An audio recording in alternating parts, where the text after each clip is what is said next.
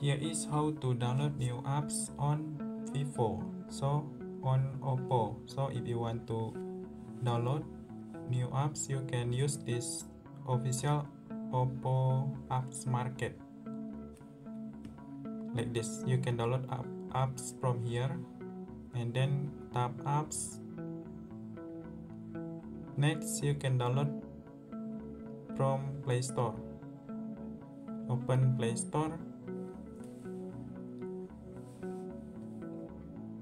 and then tap apps tap top chat.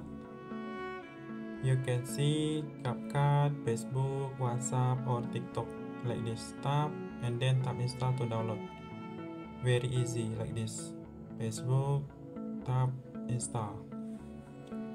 Or you can find from here like Facebook. And then tap here and then tap install. Very easy.